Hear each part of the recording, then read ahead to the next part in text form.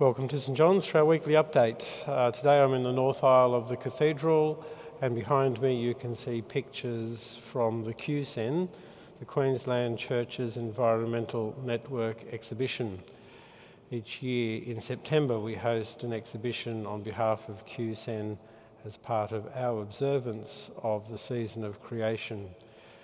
The season of creation is a season that has emerged in the life of the church as the church understands that it needs to be an active uh, partner in how we deal with and engage with the environmental crises of our time, both the ecological crisis and, of course, climate change, which is part of the ecological crisis.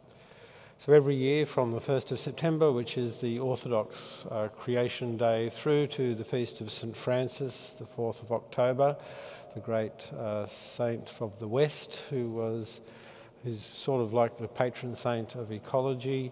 Uh, each year we observe this season and reflect on how our faith speaks to the way in which we interact with the environment and also how the environment helps to shape our understanding of who we are and therefore the gift of our faith. One of the important gifts we celebrate as Christians is the gift of community, and those of us who are part of the St John's community are incredibly aware of how important it is to be part of this group of people who nourish and nurture each other. An eclectic group that uh, helps it helps one another find the gift of life. A number of us have been part of a project uh, called the Resource Church Project, which has been based here at the Cathedral, which has been enabling uh, a number of faith communities throughout the diocese to, to, to look at uh, ways of engaging more deeply in what is emerging in their place.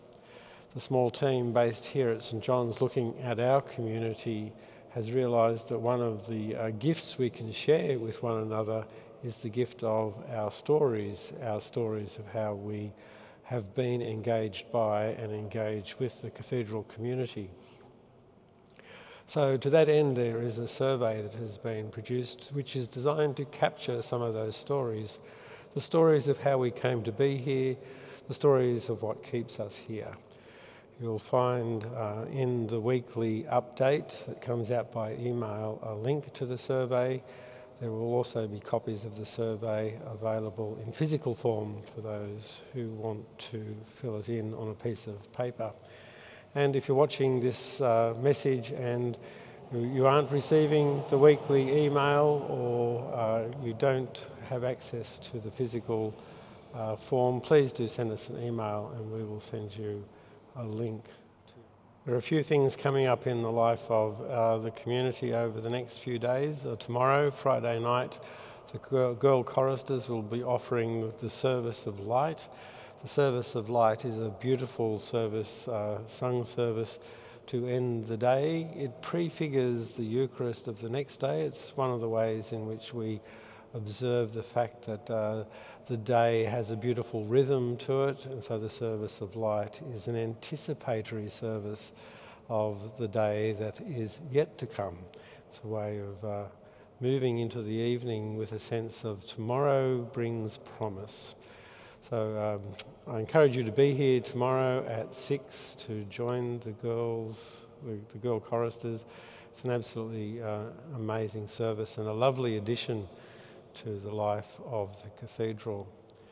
Then on Saturday, uh, Ananda will be joining with the young professionals of the United Nations Association to uh, offer yoga here in St John's. So if you'd like to be part of that, uh, please do come along. And then on uh, Sunday afternoon, the journey returns. Uh, the journey is the opportunity we have to reflect on a Sunday afternoon on our baptism, the call God places on our lives, and to engage with Scripture.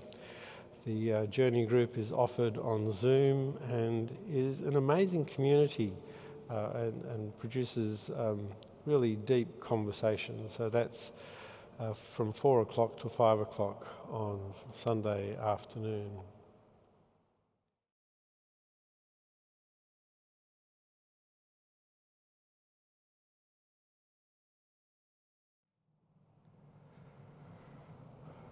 I'm also mindful that uh, Saturday is the 20th anniversary of the attack on the Twin Towers, the September 11 attacks as they have become known.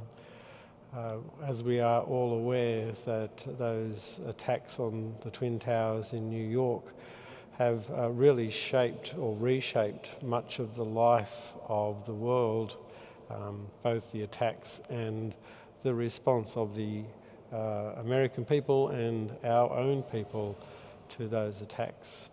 And so, as we mark the 20th anniversary, it's certainly uh, a day that we should be giving over to reflection, uh, asking the question of how we can become peacemakers because one of the things that has become clear as a result of September 11 is that um, an eye for an eye does make the whole world blind. Um, uh, violence begetting violence does make the world less secure, and we actually live in a far less secure world than we did 20 years ago.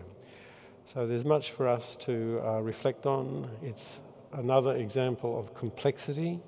Um, some of the responses have been really simplistic, and simplistic responses lead us deeper into trouble. So it's a, really a day for us to reflect deeply as uh, Christians on the call to be peacemakers, and a reminder that making peace is an active process, not just being um, peaceful and passive. And so, one of the conversations um, I would appreciate us having and certainly hope the world will be having, it will be about uh, how do we be peacemakers in a world that is prone to violence. And a reminder that each Thursday we host English conversations. Uh, English conversations are held to be a gift to people who are seeking to uh, develop their English language skills. Uh, the small team that offers English conversations is uh, very open to being joined by others who will help them support those who come to us uh, for that sort of very basic support. Uh, language is such an important tool in finding our way through life.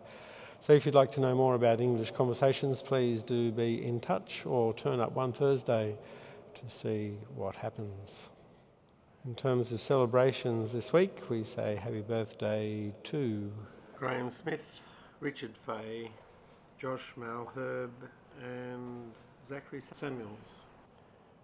And we hope that you have a great day. Thank you for all that you do for the life of this community. Uh, we are moving through this wonderful season, the season of creation, together as we appreciate the gift of life and the gift of being part of the web of life. Uh, the web of life extends into the life of the cathedral community, and that web uh, relies on connections. So, thank you for being part of the fabric that uh, knits us together and allows us to allow one another and enable each other to flourish. Peace be with you.